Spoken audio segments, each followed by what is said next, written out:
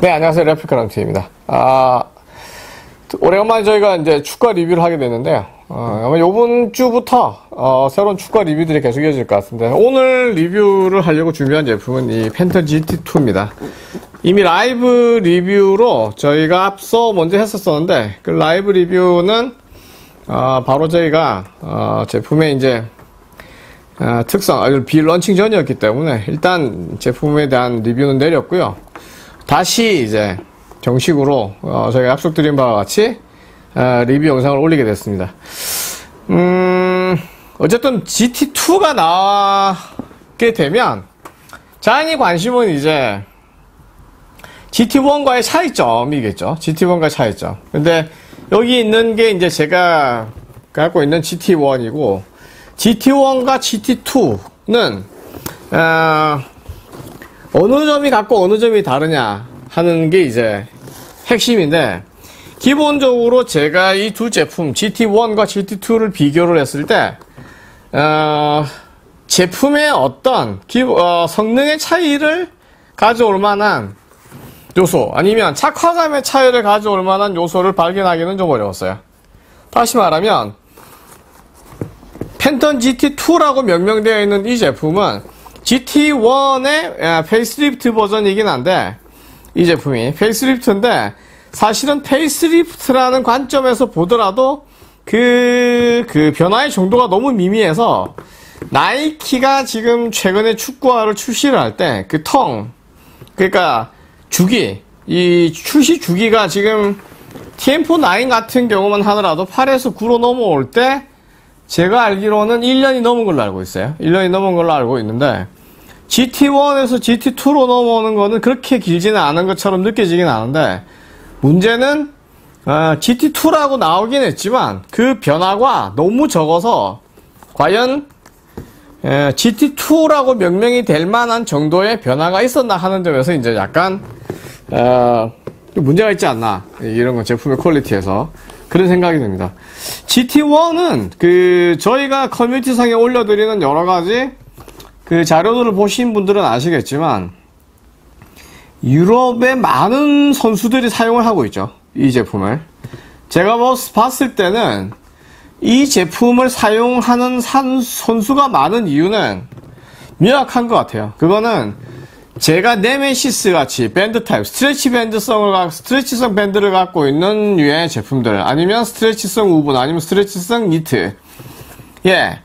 적절한 코팅이 처리가 되어 있어서 실질적으로 upper가 stretch, stretch성을 갖고 있으면 그 경우에는 제품의 착용 편의성이 높아지면서 어, 사용 빈도가 높고 지금 최근에 유로 20 어, 2020을 이렇게 보신 분들도 아시겠지만 아디다스 모델 중에서 뭐 제가 그러니까 전 경기를 다 보면서 선수의 축구 착화 비율을 조사한 건 아니지만 아디다스 제품 중에서 가장 착화율이 높은 제품, 현역 그 유로 때에 참가했던 선수들 중에서. 가장 높은 제품은 코파 센스나 뭐 이런 제품이 아니었고, 코파 19, 20.1뭐 이런 제품이 아니었고, 프레데터 사용하는 선수도 뭐 대표적인 선수들이 몇몇 있기 때문에 눈에 띄는 경우가 있는데, 그 외에는 네메시스가 의외로 많이 착용을 했다고 봤고, 뭐, 나이키인 경우에는 지금은 사실상 사일로가, 어, TM4가 있기는 하지만, 대부분의 선수가 머큐리얼 베이퍼랑 그 다음에 지금 GT로 나눠져서 가는 그런 느낌을 받았어요. 근데 이 GT의 디자인을 보면 지금 2에 와서 있는 이 B 제품의 디자인을 보면 공교롭게도 이 머큐리얼 베이퍼 14의 디자인과 이 swoosh 로고의 위치가 조금 다르거나 뭐 이런 거를 제외하고 실질적으로 여기에 이제 여러 가지 layer가 겹쳐져 있는 어, upper라는 머큐리얼 나이키 쪽의 설명을 어, 머릿속에서 치우고 만약에 이 두 가지 제품을 본다고 하면 사실은 이 두 제품을 블랙아웃 처리를 한 다음에 비교를 한다고 하면 그 두 제품의 기본적인 특성에 있어서 큰 차이가 느껴지지 않을 정도로 굉장히 유사합니다. 이렇게 보시면 어, swoosh 로고가 주는 효과 때문에 좀 이렇게 많은 변화가 있는 것처럼 보이실 수도 있겠지만 실질적으로 슈즈의 안쪽을 이렇게 인사이드 쪽을 이렇게 놓고 비교를 하면 이렇게 놓고 비교를 본다고 하면 정말 차이가 없어요. 물론 이제 upper가 다르기는 하죠. upper는 여기에 뭐 generative texture라는 거는 이 천 위에 있는 코팅 처리되어 있는 그, 그 부분에 이제 이렇게 미세한 돌기 가공을 한 거가 이제 generative texture라고 보통 일, 나이키에서 부르는 부분인데 여기는 뭐 여러 가지 형태의 zone을 만들고 뭐 밴드를 설정을 하고 mesh를 설정을 했다고는 하지만 실질적으로 만져보면 한 겹에 되어 있는 니트를 2중 3중으로 얇게 그 접합을 한 경우 코팅 처리를 하고 그거 말고는 사실 큰 의미가 없는 소재고 이 GT1인 경우가 그랬었죠. 왜냐면 이 제품인 경우에 뭐 기본적으로 왜 유럽에 있는 많은 선수들 이이 제품을 선호를 하느냐 어, 명확해요. 네. 나이키 제품의 지금 특징이 되게 명확해진 건 뭐냐면 이 얇은 어퍼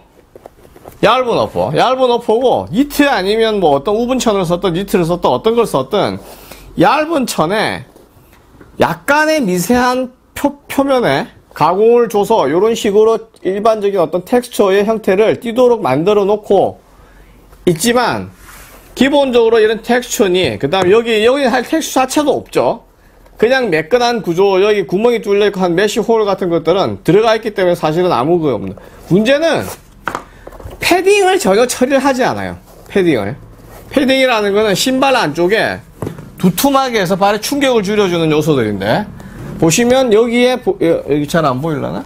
음, 이런 제품을 보면 여기에 울퉁불퉁하게 가공이 되어 있는 부분들 있죠. 이런 부분들을 이런 축구화에는 아예 없어요. 없어서 인사이드 부분, 아웃사이드 부분, 인사이드, 아웃사이드, 발등, 발등에 있는 tongue조차도 여기는 지금 밴드로 처리가 되어 있기 때문에 과거에 이런 축구화에서 본 두툼한 패딩 처리되어 있는 tongue과는 구조적으로 다르죠. 이렇게 됨으로써 무게를 줄이는 효과가 있고 어퍼를 얇게만 가공을 하고 라이닝은 하지만 패딩 처리를 전혀 하지 않기 때문에 축구화를 신고 볼을 컨택을 할 때 늘 말씀드리지만 공과 발 사이에 개입하는 요소가 최소화되어 있어요. 그러니까 두 제품은 어퍼 소재가 주는 미세한 착화감의 차이가 있긴 하지만 궁극적으로 신고 플레이를 하다 보면 얇은 터치감 때문에 공의 contact이 되는 직접적 터치감에서는 과거에 비하면 비교할 수 없을 정도로 상승했다. 그렇게 볼 수 있죠. 그러니까 예를 들면 이런 GT 이전에 나왔던 제품들, 그 베놈이니 뭐 이런 제품들에 가면 텍스처가 있고 여기 blade가 있고 그 앞에는 이제 하이퍼 베놈으로 가면 foam pod이 들어가고 뭐 한 여러 가지 복잡한 구조들이 있었지만 그런 구조가 완전히 없어져 버리면서 이 축구와는 네메시스와 비슷해져 버렸어요. 그러니까 제가 네메시스의 장점을 말씀드릴 때 가장 중요시 여겼던 거는 뭐냐면 얇은 어퍼, 그 다음에 스트레치성 소재. 그게 발을 넣었을 때 발을 잘 감싸주는 부분이 하나가 있고 두 번째는 어퍼 자체가 워낙 얇기 때문에 볼에 직접적인 터치감이 생긴다.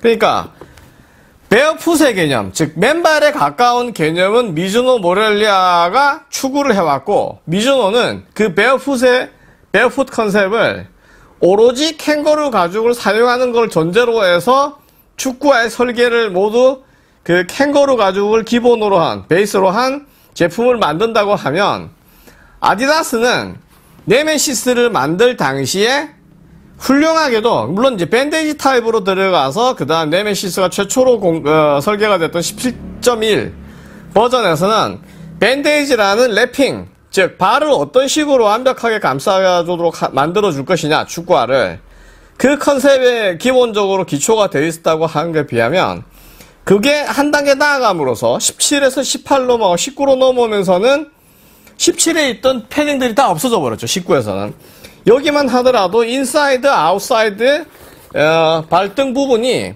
bandage, 그러니까 이 뭐, 이걸 뭐라고 불렀죠? agility bandage라는 것들을 이용을 해서 그 발에 밀착시킨다고는 했지만 실질적으로는 되게 희한했던 건 뭐냐면 그러한 작용도 좋지만 기본적으로 패딩이 이렇게 만져보면 안쪽이 두툼하게 처리가 돼 있어서 굉장히 부드러운 터치감을 유지할 수 있는 특이한 축구화였어요. 그래서 제가 이 축구화를 되게 좋아하는데 네메시스 19로 넘어오면 저 패딩들이 다 없어졌어요. 다 없어지고 천으로 되어 있는 밴드 형태로만 남아있는 그 천에 이제 그 우분 우분 천들만 이렇게 남아서 스트레치성을 갖는 건데 그것도 어, 바, 어, 뭐 발의 크기에 따라서는 발저림 현상이 일부 발생할 수 있는 어, 한, 약점 같은 것들은 분명히 있긴 하지만 그러나 신고 플레이를 하면 어퍼가 굉장히 얇기 때문에 천 양말을 신 어쩌면 축구 양말보다 더 아마 얇을 거예요. 두툼한 축구 양말에 비하면. 그러니까 그 정도 얇은 어퍼를 갖고 있기 때문에 볼 컨택에 있어서의 그 터치감이 놀랍도록 좋고 그러다 보니까 아 이게 소위 말해서 축구화에서의 터치가 터치감을 확보한다는 게 어떤 거냐 하는 게 알게 됐고 나아가서는 여기에 축구화에 이제 뭐 TM4-9에도 여기 이제 폼팟이 다시 들어가긴 하지만 폭넓게. 여기에 CT 프레임이다. 아니면 가죽 패딩이다. 아니면 스폰지 패딩이다 아니면 메모리 폼이다 이런 것들이 어퍼의 전면에 도출 어, 도포되는 것 자체가 축구 선수들한테 크게 도움이 될 만한 요소도 아니고 실질적으로 경기력 향상에 크게 끼치는 요소도 없고 차이점은 실질적으로 발에 닿는 감각의 차이, 차이를 만들어내는 정도. 그러니까 기능적 차이는 아무도 없다 이거죠. 그러니까 패딩이 있어서 공을 더 멀리 찰 수 있는 것도 아니고 더 강한 킥을 보낼 수도 있는 것도 아니고 그렇다고 하면 발을 보호하는 요소로서의 패딩은 있는 게 좋긴 한데 그리고 그러한 패딩이 있음으로써 발의 충격이 완화되고 발의 충격이 완화되는 느낌 자체가 발 자체가 축구공에 컨택을 할 때 느껴지는 어떠한 안정감, 무게감 이런 것들이 분명히 있는데 그런 효과를 다 없애서 이미 고도의 숙련화 단계를 거쳐서 발이 맨발 감각으로도 단단한 인플레이트가 되어 있는 축구공을 킥을 하거나 컨트롤 하는 데 있어서의 통증, 소위 말해서 발의 전 축구공으로부터 전달되는 통증 자체에 특별한 이상 반응이 없다고 하면 어퍼가 얇아서 볼에 직접적인 터치를 만들어줘서 공에 직접적으로 닿는 느낌. 그래서 정말 내 발에 뭔가가 완벽하게 닿음으로써 내가 원하는 형태로, 내가 원하는 방향으로 볼을 컨트롤할 수 있다, 보낼 수 있다. 그렇게 느끼는 감각이 굉장히 고도화되는 축구화로 넘어왔다는 거죠. 그 과정이 소재에서 상에서는 예를 들면 얇은 어퍼, 그게 니트였던 우분천이든 아니면 그냥 일반적인 인조 가죽이든 캥거루 가죽이든 어떤 거든지 모르겠지만 그러한 얇은 천으로 가는 거가 하나가 있고 축구화에서는 그러한 축구화에서 얇게 감으로써 어, 우리가 얻을 수 있었던 장점들 장점들이 다른 패딩이 있음으로 해서 그 우리가 느끼는 장점을 더 뛰어넘는 극복해낸 그 아니면 그거를 아, 초월한 그런 신발의 구조로 나이키나 아디다스가 이미 가버렸다는 거죠. 그러니까 프레테같이 돌기를 통해서 뭔가의 신발의 예를 들면 소위 말해서 파워다, 스워브의 크기다 이런 것들이 증가된다고 하는 식으로 축구화를 만들 수도 있지만 기본적으로 축구 선수도 프로 레벨에 올라갈 정도로 고도화된 선, 그 고도로 훈련된 선수들의 경우에 발의 충격 자체가 크게 문제가 없다고 한다고 하면 선수들이 공을 다룰 때에서 직접적인 볼 터치감이 볼 컨트롤에 있어서 더 효과적이라고 만약에 판단이 되면 이렇게 패딩이 없이 직접적으로 얇아서 얇은 어퍼에 그 패딩이 전혀 없고 그 다음에 발은 잘 홀드해주는 이런 축구화들이 강점을 가질 수밖에 없는 어, 시대로 전환이 된 거죠. 또 문제는 뭐냐?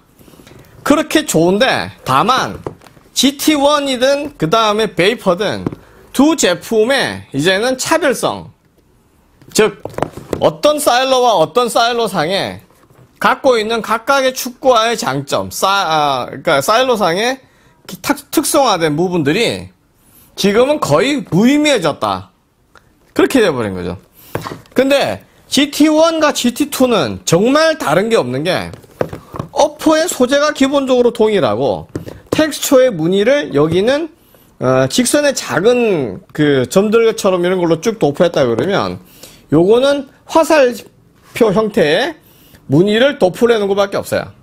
그러니까 이때도 마찬가지고 이때도 마찬가지. 이걸 화, 직선에서 화살표 방향으로 바꿔서 볼의 그립성이 증가됐다. 나이키는 그렇게 얘기를 하지만 사실은 의미가 없죠. 왜냐하면 그렇게 하기에는 여기에 있는 텍스처의 각 무늬가 너무 작죠. 너무 작아서 이 각각의 작은 이 화살표 무늬들이 볼 컨트롤에 개입할 요소, 볼 표면에 개입할 요소는 굉장히 적어졌다.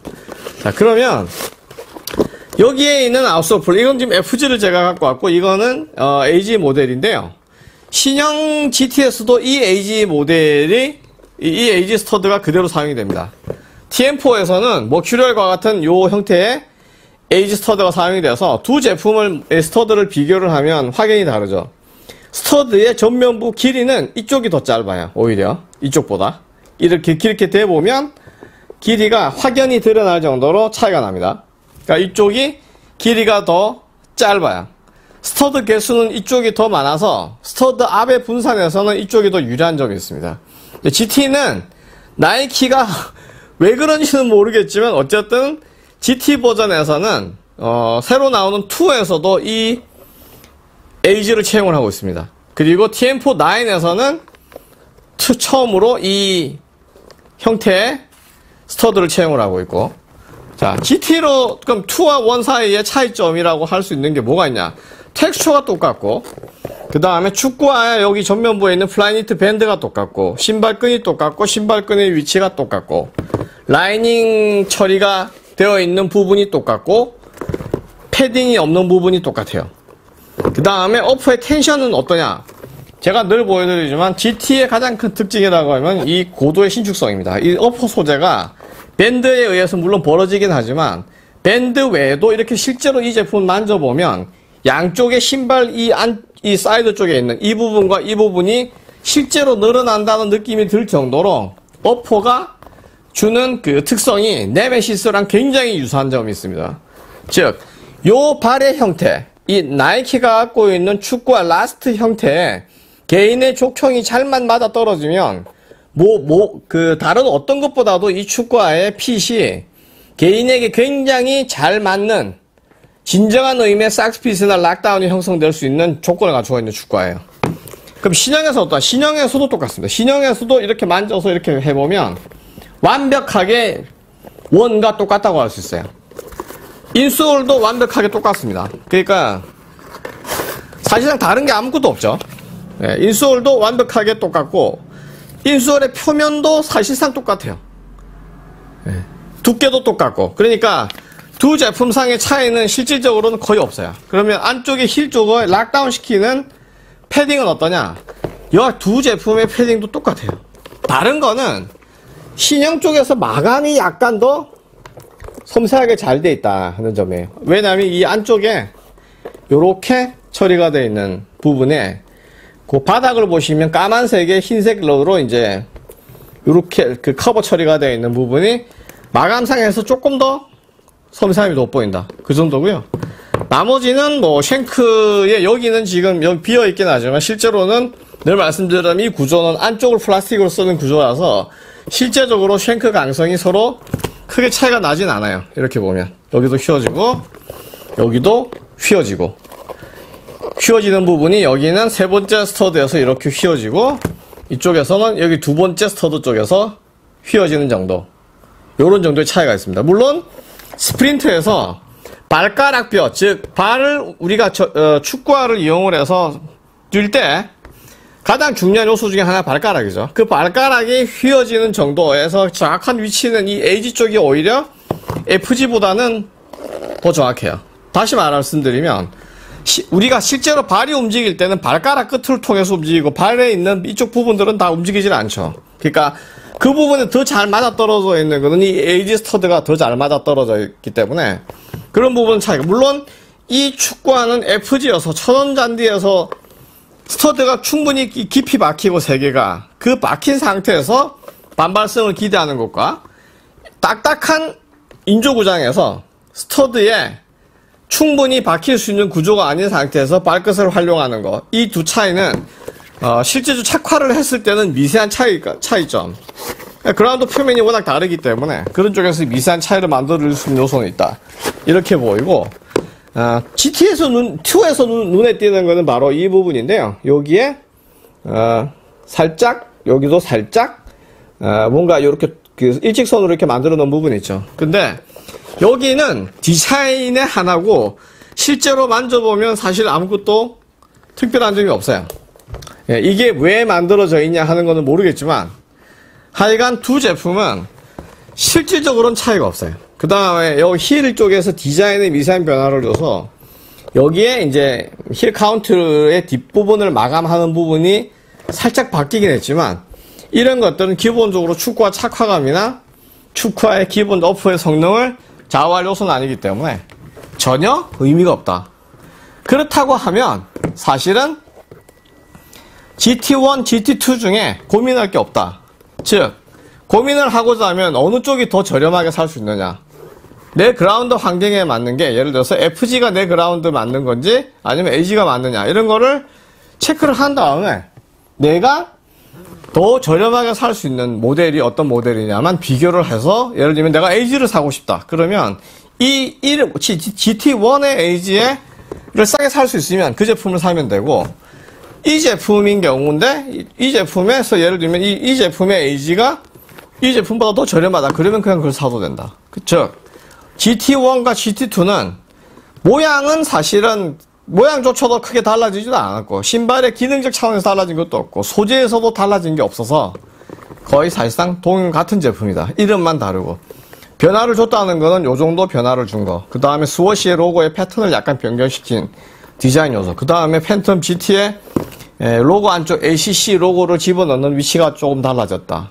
여기는 여기, 여기는 어 이게 바깥쪽에 있나요? 이쪽 있나? 아예 없나? 뭐 그런 쪽에 있는. 그 다음 여기에 뭐 Flyknit 로고가 들어가 있다.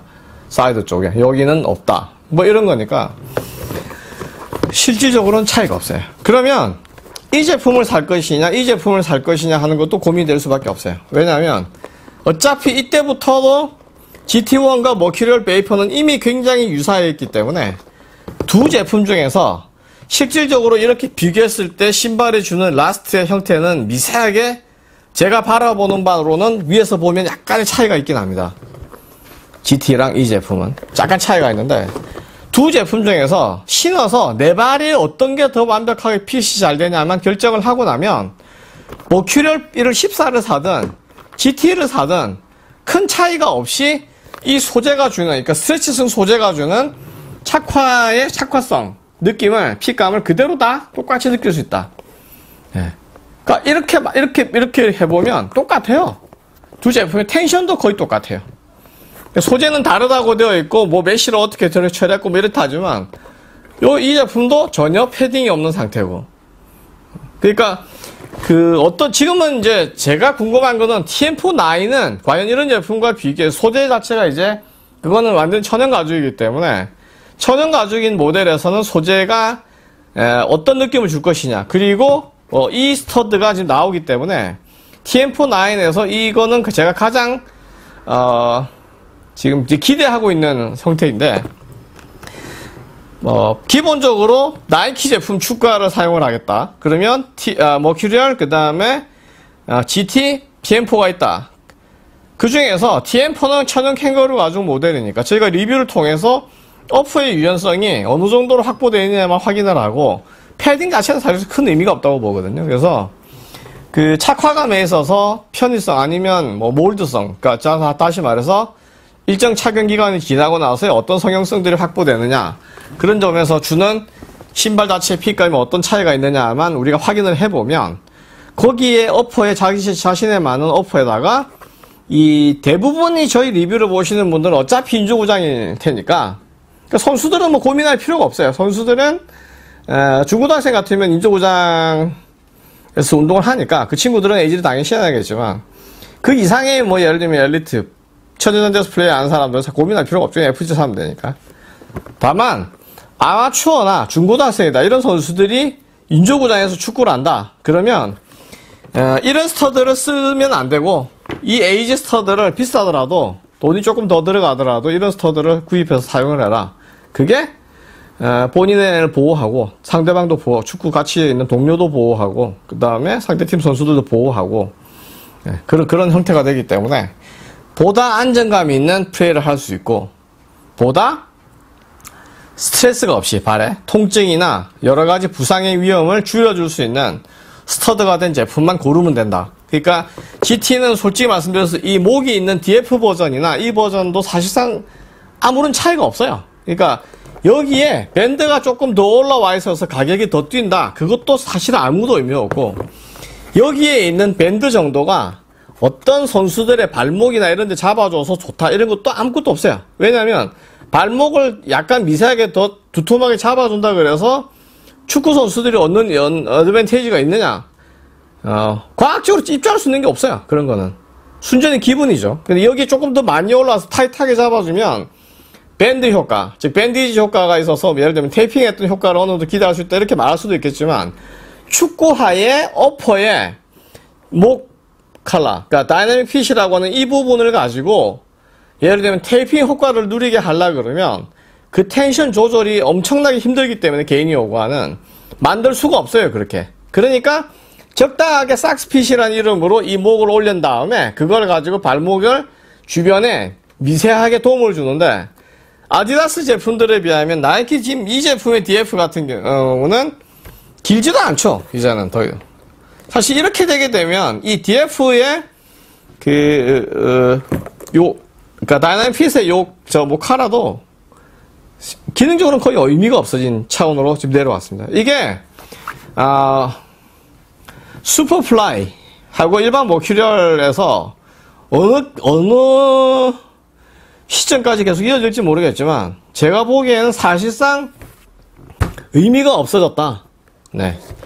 보시면 GT에 있는 일반 그 DF 버전이 아닌 일반 버전과 DF 버전을 이렇게 놓고 비교를 하면 이 높이 자체가 아, 밴드의 미세한 차이, 뭐 1, 2cm 정도 차이밖에 없는데 이것 때문에 아, 가격에 2, 3만 원 차이가 난다 그러면 그것도 넌센스라고 볼 수밖에 없어요. 그렇기 때문에 이렇게 목에 올라와 있는 제품을 실질적인 아무 효용성도 없는 거에 대해서 여기가 밴드가 잡아주니까 좋다. 그런 거는 축구에서 선수들한테 에, 말씀드리지만 발목을 내가 약해서 발목에 테이핑을 보강을 하는 경우가 있고 그 다음에 발목에 자유롭게 움직임을 제어하기 때문에 테이핑을 안 할 수도 있어요. 선수에 따라서는. 그렇기 때문에 이런 게 있다는 것들이 반드시 스포츠 의학적으로 스포츠 과학적으로 차원에서 이게 효과가 있다. 선수의 경기력에 영향을 미친다 하는 것들은 대부분 다 뻥입니다 뻥. 그러니까 그런 얘기를 들을 필요가 없어요. 그래서 내 발에 편한 축구화를 신고 low cut으로 이게 low cut이다 뭐 미드컷이다 하이컷이다. 그것도 축구에서는 큰 의미가 없는 단계로 다시 돌아갈 것이다. 제가 보기에는 그렇게 보입니다. 그래서 어, 나이키 제품이 지금 예를 들면 AG 제품들이 이제 국내에 계속 안 나오기 때문에 아마 해외에서 구입을 하시게 되면 유럽 내 출시 가격에 할인을 받지 않고 하면 꽤 35만원 가까이 되는 돈을 주고 구입을 하실 수밖에 없으실 거예요. 그러나 자신의 발에 잘 맞는 예를 들면 FG 제품을 구이 어, 시, 어, 나이키 매장에서 신어 보신 다음에 그 핏이 굉장히 자기한테 이상적이고 자기가 원하는 fit감을 실현시켜 준다고 하면 그러한 오프에 맞는 AG stud를 구입을 돈을 더 들이더라도 구입하셔서 어, 축구화를 뭐 2년 뭐 3년 신는다고 하면 어 1년에 한 35만 원 정도 그러니까 한 달에 한 3만 원 정도 사용하는 것밖에 안 되기 때문에 뭐 축구를 하는데 그 정도 장비 장비 가격으로 뭐 한 달에 3만 원 정도. 그게 만약에 2년 3년을 쓰게 되면 한 달에 15,000원 아니면 한 달에 한 8,000원 정도를 사용하는 거니까 솔직히 말씀드리면 아마추어가 일주일에 한두 번 정도의 인조구장에서 차, 어, 사용을 한다 그러면 이런 축구화들은 3년 정도는 아무 이상 없이 보통 신을 수 있죠. 그러니까 돈을 조금 더 들더라도 가급적이면 그라운드 환경에 맞는 스터드를 제품을 구입을 하셔서 오래 사용하시기를 말씀드렸지만 나이키가 언제 어떻게 바뀔지는 모르겠지만 지금 제품이 나오고 있는 GT의 변화 주기를 보면 일단은 1년이 넘어가는 네. 왜냐하면 1과 2 사이에 큰 차이가 없기 때문에 이렇게 되게 되면 2년의 시간이 그대로 가는 거죠. 그 다음에 TM4는 지금 1년 반 정도 된 주기가 됐고 이미 그죠 그러나 어, 실질적으로 오퍼의 어, 가공 방식을 변경시켰지만 사실은 팔에서는 어퍼의 무늬만 엠보싱으로 찍은 형태밖에 안 되기 때문에 그거는 아무런 의미가 없죠. 아무런 의미가 없고 지금 나와 있는 9에서는 TM4 9에서는 그 폼팟이라는 형태를 어, 인저트를 아, 어퍼 전번에 하긴 했지만 그 자체가 어떤 역할을 한다. 그러니까 충격을 흡수주고 하는 데서 어, 분명히 공에 닿는 느낌은 이런 제품들과 비, 라인 패딩이 없는 제품들과 비교하면 직접적인 차이점이 있긴 하겠지만 그렇다 그래서 기능적으로 우리가 기대할 수 있는 것들은 크게 없, 없기 때문에 어떤 축구화 어떤 소재와 어떤 last 구조를 갖고 있고 어떤 것들이 내 발에 잘 맞느냐를 한번 체크를 해 보시고 거기에 맞는 stud, outsole 형태 이런 것들을 잘 선택을 하시면 어, 지금 나이키의 평균적인 full change 소위 말해서 minor change가 아니라 full change가 되는 모델이 실질적으로 큰 변화가 있다고 느낄 정도의 기간 동안은 축구화 한 켤레라도 얼마든지 아마추어 분들은 되게 소화시킬 수 있다. 이렇게 보면 굳이 축구화 구입에 여러 가지 축구화 구입에 많은 돈을 쓰실 필요도 없고 자신의 발에 잘 맞는 축구화로 상당 기간 동안 편하게 운동할 수 있는 여건이 되실 수 있다. 이렇게 보입니다. 그만큼 어, 놀라운 거는 어쨌든 제가 과거에 비해서 나이키 축구화들이 우리가 신을 수 있는 범위 아니면 이 오프의 이런 소재와 그 다음에 소재 가공 방식, 그 다음 텐션 이런 것들이 달라지면서 과거에 비하면 확실히 발볼이 아주 칼발이다, 아니면 발볼로다 하는 거에서 나이키를 신을 수 있냐 없냐 이 문제를 조금 더 이, 이, 이 변한 스트레치성을 갖고 있는 소재들이 사용이 됨으로써 그 폭을 넓혀주고 있기 때문에 제가 보기에는 이런 그 축과 자체로만 보면 지금 한없이 심플해졌긴 했지만 아무것도 없이 그냥 어퍼 쪼가리에다가 신발끈이 끼워져 있고 어, 아웃솔도 변화가 없고 그러고 뭐 텍스처 변경이라 하지만 실질적으로는 아무런 변화 없이 컬러만 조금 변화시킨 거 말고는 아무 변화가 없지만 기본적으로 그렇게 심플하게 축구화들이 가면서 신발의 본질, 축구화의 본질에는 오히려 더 가깝게 지금 접근하려고 있기 때문에 나이키 축구화의 지금 베이퍼라든지 그 다음 GT라든지 이런 제품 어떤 제품이든지 stud만 내가 AG를 살 수만 있으면 얼마든지 이 축구화도 추천할 수 있는 단계로 점점점 진화되고 있습니다. 물론 이 다음 단계에서는 또 어떤 변화가 있을지 모르겠지만 현재까지 우리가 지켜보고 있는 GT1과 GT2 그 다음에 머큐리얼 베이퍼 14 그 다음에 TM4는 아마 내일이나 모레 저희가 구해서 리뷰를 해보겠지만 예, 어쨌든 발이 들어가는 데 있어서의 문제점 아니면 신발을 신은 상태에서 어, 발저림의 문제 아니면 나이키 특유의 last 족형의 문제 이런 것들이 과연 지속되는지 아니면 개선이 되어서 나왔는지 그런 것들을 체크를 해보고 반드시 내 fit에 맞는 가장 이상적으로 내가 원하는 fit을 형성시켜주는 제품 하나만 고르시면 거기에 맞게 그 이후에 AG stud로만 이 stud로 가든 이 stud로 가든 어쨌든 어, GT는 지금 이 stud고 그 다음에 베이퍼랑 뭐 어, TM4는 이 stud이기 때문에 어떤 stud로 선택을 하시더라도 크게 무리 없이 2년은 거뜬히 버틸 수 있는 정도로 진화가 됐다 이렇게 보시면 될 것 같습니다. 물론 국내에는 HG가 만약에 나와준다 그러면 굳이 AG로 가지 않더라도 또 HG로 가시더라도 괜찮고 그 다음에 HG인 경우에는 심지어 발의 형태에 따라서는 일본식 last가 채용되어 있기 때문에 FG AG 모델보다는 어쩌면 last의 족형 문제가 조금 더 각 개인에게 쉽게도 해결할 수 있는 부분도 있습니다. 저 같은 경우가 대표적으로 지금 그러니까.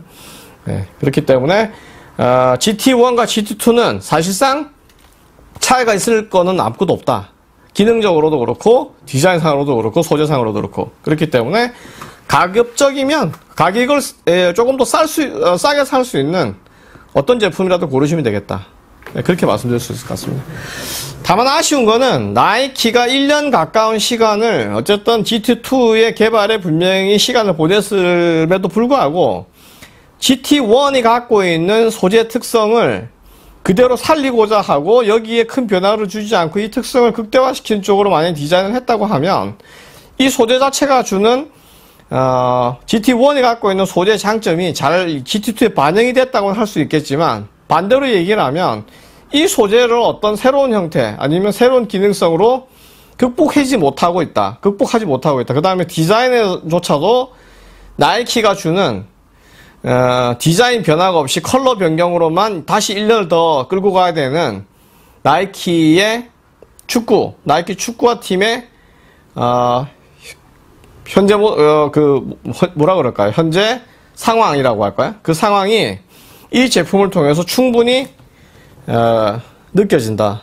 그 다음에 TM49도 사실상 뭐 리뷰를 하긴 하면 뭐 답은 나오겠지만 과연 어, 떤 고민 끝에 만들어지 어, 나이키가 만들어 어, TF9을 만들었나 하는 것도 실제 제품을 보면 쉽게 판단이 되지 않을까 하는 생각이 들긴 합니다. 그러니까 캥거루 가죽을 여전히 사용을 하고 그 캥거루 가죽으로 어떤 변화를 어, 추구를 해왔냐 하는 것들은 뭐 나인도 직접 아마 보면 금방 알 수 있지 않을까 생각이 들어서 어, 이어질 라인에 대한 리뷰도 어, 기대해 주시기를 예, 관심을 가져 주시기를 부탁드립니다. 지금까지 팬텀 어, GT2에 대한 리뷰였습니다. 시청해주셔서 감사합니다.